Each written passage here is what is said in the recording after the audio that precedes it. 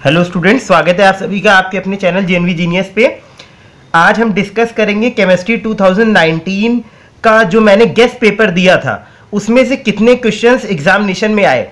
Students सबसे important बात जो वीडियो से रिलेटेड है, वो वीडियो की आवाज़ होती है।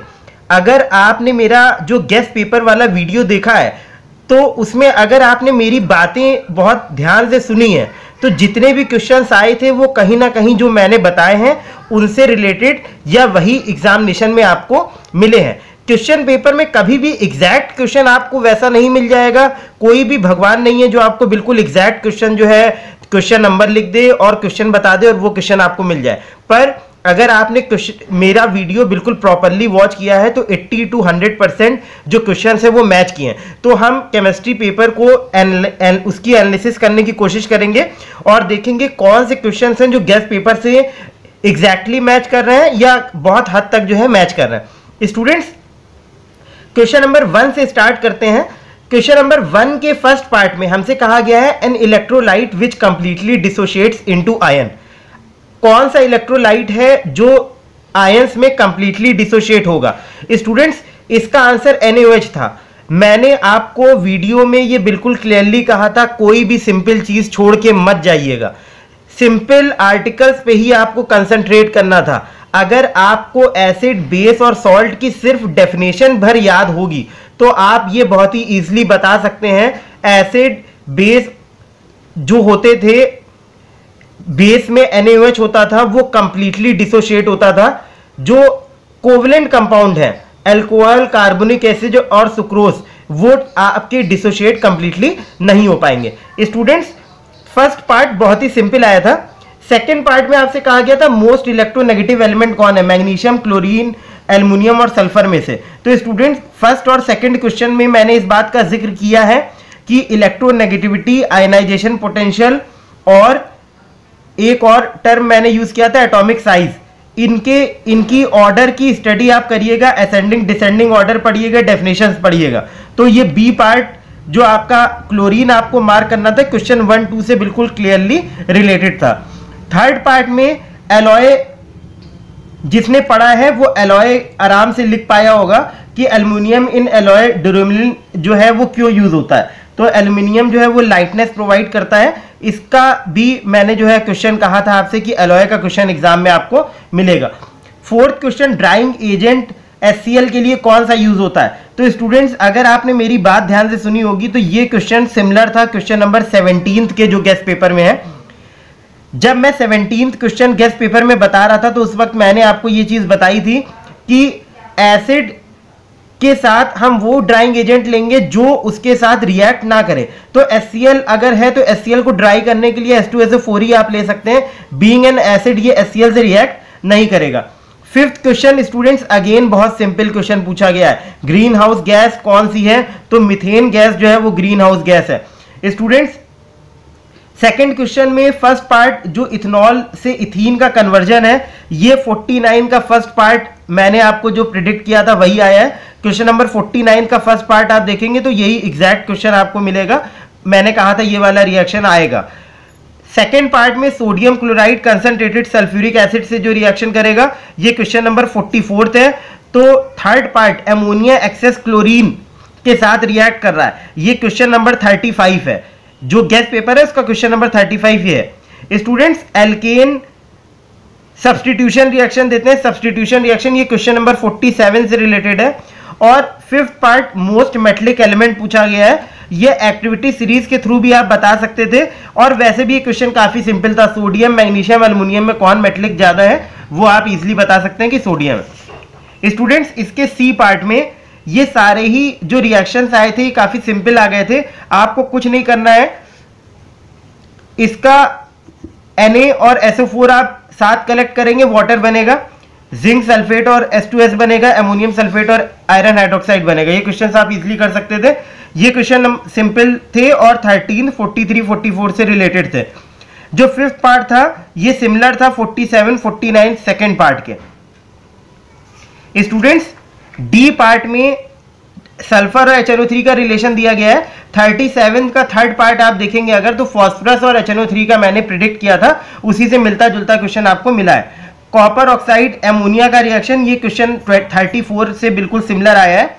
Electrolysis of copper sulphate using copper electrolyte मैंने कहा था तो क्वेश्चन नंबर 22 गैस पेपर का एग्जैक्ट ये क्वेश्चन है। स्टूडेंट्स फोर्थ पार्ट जो है जिंक एस का रिएक्शन ये बहुत सिंपल आया है। तो थर्टी नाइन्थ के सिमिलर ये वाला रिएक्शन था।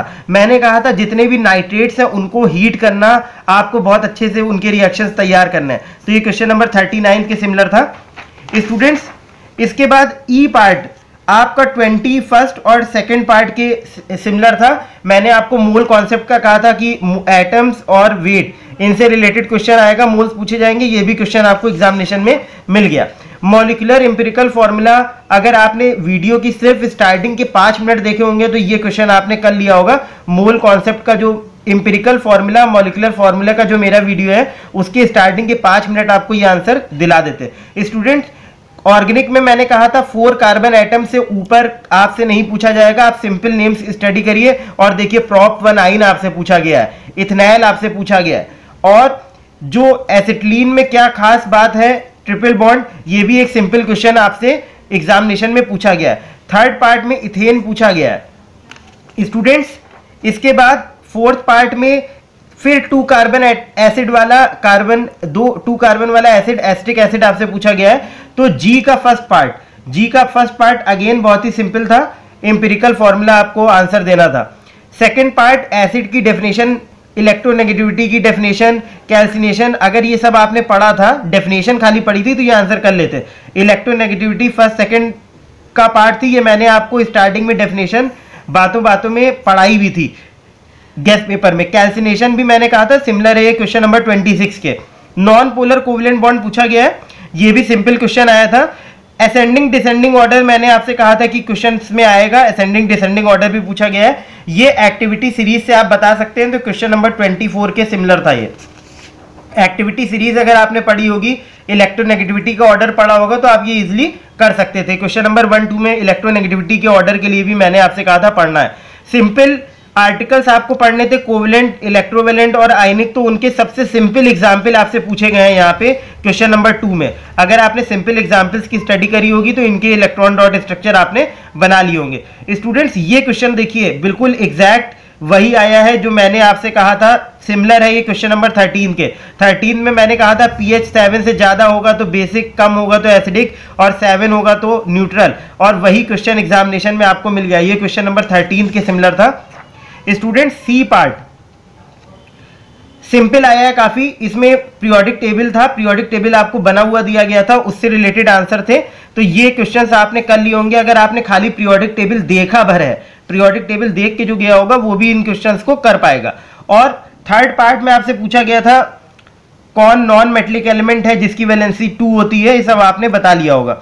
स्टूडेंट थर्ड क्वेश्चन जो आया है स्ट्रॉन्ग इलेक्ट्रोलाइट नॉन इलेक्ट्रोलाइट इन सब की डेफिनेशन खाली अगर आपने पढ़ी है तो थर्ड क्वेश्चन आपने आंसर कर लिया होगा। उसके बाद बी पार्ट पे आते हैं। स्टूडेंट्स ये रिएक्शन हल्के से अलग आए हैं, पर सिंपल थे। आयरन सल्फेट का रिएक्शन भी सिंपल था। ये जो सेकंड रिएक्शन आया है, ये क्वेश्चन नंबर थर्टींथ के सिमिलर है। क्वेश्चन नंबर थर्टींथ में जो गैस पेपर का है, उससे ये सिमिलर है। स्टूडेंट्स जो सी पार्ट आया आपका प्रेसिपिटेशन रिएक्शंस मैंने आपसे कहा था स्टडी करना। प्रेसिपिटेशन रिएक्शंस अगर आपने स्टडी करे होंगे तो आपने ये क्वेश्चन भी कर लिया होगा। सी का fourth part F three iron three chloride का रिएक्शन मैंने आपको दिया था क्वेश्चन नंबर सिक्सटीन के ये सिमिलर था। स्टूडेंट फोर्थ क्वेश्चन जो है फोर्थ का first part thirty seventh question के सिमिलर था, मैंने सल्फ़र की जगह फॉस्फोरस दिया था। और ये एग्जैक्ट रिएक्शन आया है, ये नाइनटीन क्वेश्चन में जो इक्वेशंस दी है एटीन नाइनटीन में, उनमें ये इक्वेशन आपको मिल जाएगी। ये क्वेश्चन भी सिंपल आए थे, अगर आपने प्रिपरेशन पढ़े होंगे तो कर लिए होंगे। Question number five twenty seventh question के सिमिलर था। मैंने आपसे कहा था केमिकल फॉर्मूला पूछा जाएगा केमिकल नेम दिया जाएगा। और वैसे ही क्वेश्चन जो है आपको ये मिला है। और क्रायोलाइट पे फोकस भी मैंने किया था। मैंने आपको बातों ही बातों में बताया था कंडक्टिविटी बढ़ाने के काम आता है। लॉस ऑफ़ रेडिएशन को प्रिवेंट करने के लिए हम कोक स्प्रिंकल करते हैं। तो सिमिलर टू ट्वेंटी क्वेश्चन था। स्टूडेंट्स एलॉय से रिलेटेड क्वेश्चन आपको मिलता है। तो सी पार्ट आपका एलॉय से रिलेटेड था। और सिक्स का A part question number thirty three के सिमिलर था। अगर आपने तीनों प्रोसेस हेबर कॉन्टैक्ट और उसवाल्ट पढ़े होंगे तो थर्टी थ्री का इजिली आंसर कर लिया होगा। सेकंड थर्ड पार्ट भी इजी थे। ये क्वेश्चन ट्वेंटी और ट्वेंटी वन में। मोल कॉन्सेप्ट का वीडियो अगर आपने मेरा देखा होगा तो ये क्वेश्चन आपने बहुत ही इजिली कर लिया होगा केमिकल इक्वेशन से रिलेटेड सेवेंथ क्वेश्चन का first part question number twenty seven से रिलेटेड था। एल्यूमिना की इलेक्ट्रोलिटिक रिडक्शन करते हैं तो कौन सी गैस इवॉल्व होती है? और ये फोर्टी के सेकेंड पार्ट से रिलेटेड था इथीन का हाइड्रोजनेशन और जो थर्ड पार्ट था, वो थर्टी फोर्थ क्वेश्चन था। एमोनिया का रिएक्शन अगर हम कॉपर ऑक्साइड के साथ कराते हैं तो कौन सी गैस निकलती है? B part question number thirty one से सिमिलर था मैग्नीशियम नाइट्राइड का रिएक्शन और एमोनिया से NH4Cl स्टूडेंट ये सेवेंथ क्वेश्चन के सिमिलर था। मैंने कहा था, दो गैसेज रिएक्ट करती हैं और एक सॉलिड बनाती हैं। तो ये एमोनिया HCl का NH4Cl रिएक्शन था। ये बी पार्ट आप कर लेते अगर आपने ये क्वेश्चंस करे होते। सी पार्ट में प्रोसेस से रिलेटेड क्वेश्चंस आपको दिए गए हैं और मैंने क्वेश्चंस आपसे कहे थे कि 33 में तीनों प्रोसेस आपको अच्छे से करके जाने हैं। स्टूडेंट्स इसी के सी पार्ट में ये एक क्वेश्चन रह गया इंपेरिकल मॉलिकुलर फार्मूला वाला, ये क्वेश्चन नंबर ट्वेंटी के सिमिलर था। अगर आपने इंपेरिकल मॉलिकुलर फार्मूला स्टडी करा है, जैसे क्वेश्चंस मैंने आपको दिए थे तो ये क्वेश्चन भी आपने कर लिया होगा। इस तरीके से आपने देखा कि जितने भी क्वेश्चंस मैंने आपको बताए हैं, वो ज़्यादातर सारे क्वेश्चंस आए हैं। उनका फॉर्म हल्का सा चेंज हो सकता है, पर क्वेश्चंस आपको एग्जामिनेशन में मिलेंगे। तो आप हमारे चैनल को ट्रस्ट कर सकते हैं और आगे भी आपको जो भी हमारी तरफ़ से इंफॉर्मेशन दी जाएगी, वो 100 परसेंट बिल्कुल प्रॉपर होगी जेन्युइन होगी। पर अगेन वही बात, कागज़ के टुकड़ों पे मत मत जाइए। आप ये ना सोचिए कि हमको ये पीडीएफ फॉर्म में मिल जाएगा। जैसे एक दो स्टूडेंट्स का कमेंट आता है कि पीडीएफ फॉर्म में दे दीजिए। आप इनको रट के एग्जामिनेशन में अच्छे मार्क्स स्कोर नहीं कर सकते। इनको देखने के साथ साथ आपको मेरे इंस्ट्रक्शंस को क्लियरली सुनना भी बहुत ही ज़्यादा ज़रूरी है। चैनल को सब्सक्राइब कीजिए, वीडियो पसंद आया तो लाइक कीजिए, फ्रेंड्स में शेयर कीजिए। धन्यवाद।